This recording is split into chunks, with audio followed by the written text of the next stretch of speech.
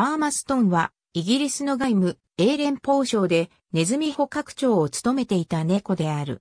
名前は19世紀中期に、首相や外務大臣を務めた第3代、パーマストン子爵ヘンリー・ジョン・テンプルにちなんでいる。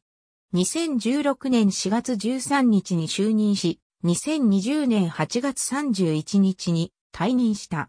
白黒2色の8割れ、模様をしている。就任時の年齢は2歳で、もともとは野良猫であった。公務に就く前は、動物保護施設である、バタシードッグズキャッツホームで暮らしていた。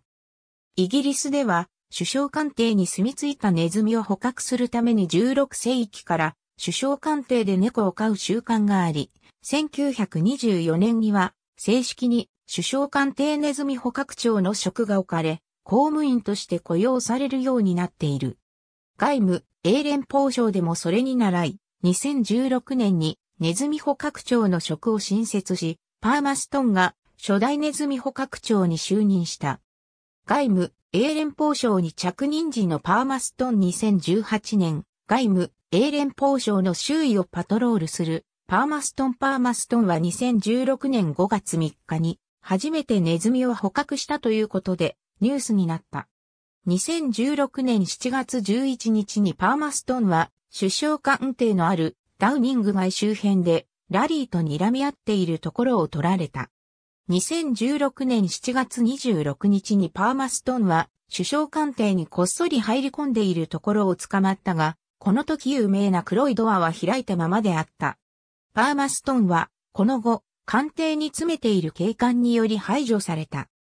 2016年8月1日、パーマストンとラリーが非常に深刻なキャットファイトを行っているところをジャーナリストが目撃し、このせいでパーマストンは耳に怪我をし、ラリーは猫用カラーをなくしてしまった。武装した警官によりこの喧嘩は止められた。これについてバタシードッグズキャッツホームの専門家は、ラリーもパーマストンも他の猫とむやみに揉め事を起こさないよう虚勢手術を受けているが、しばらくは2匹を合わせない方が安全であるかもしれないとコメントしている。パーマストンはネズミの捕獲能力においては優秀だと評されており、就任1年半ほどで少なくとも27匹のネズミを捕獲したところが目撃されている。キャットフードについては、ウィスカスを支給されている。2017年11月に在ヨルダン、英国大使館にネズミ捕獲長のポストが新設され、アブドゥンのロレンスが着任。同ポストの直属の上司は、本国外務省のネズミ捕獲長とされたため、ロレンスはパーマストンの直属の部下となった。2019年7月から12月までパーマストンは休職した。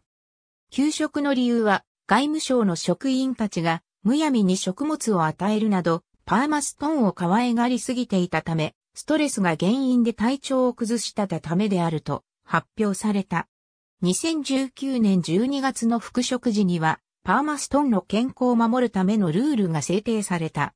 パーマストンの公式ツイッターアカウントとしてフコ、ネズミ捕獲長のアカウントが運営されており、2017年4月時点で4万2000人のフォロワーを有する人気アカウントとなった。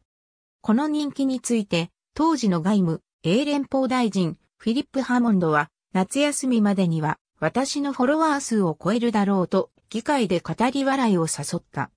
英語のみならず、日本語などでもツイートを行ったことがあり、日本語のゴシップウェブサイトなどでも話題になった。2020年8月現在、フォロワー数は11万人を超えている。2020年8月7日、パーマストンはツイッターを通して、同省のサイモン・マクドナルド事務次官に辞表を提出、サイモンによって8月末での退任が発表された。パーマストンは辞表の中で脚光を浴びることから離れ、ゆっくりとした時間をより多く過ごしたいと退任の理由を記している。ABBC はこの件についてネズミたちの公式なコメントはまだ寄せられていないと報じた。新型コロナウイルス感染症によるロックダウン中、郊外にある職員の家で在宅勤務をしていたが、今後もその生活を続けていくとしている。ありがとうございます。